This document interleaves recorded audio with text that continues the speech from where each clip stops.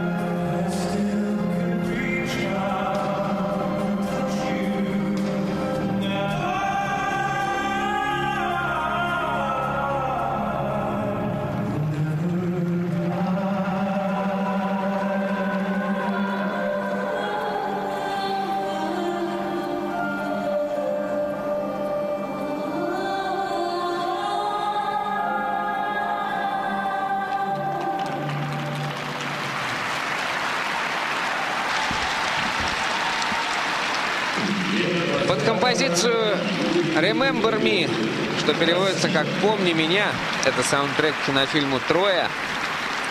Не «Трое» в смысле втроем, а «Трое» в смысле там, где Брэд Питт играл. Вера Базарова и Юрий Ларионов, занявшие четвертое место в парном катании на этом турнире. Это прекрасно. Вера Базарова и Юрий Ларионов с возвращением, друзья.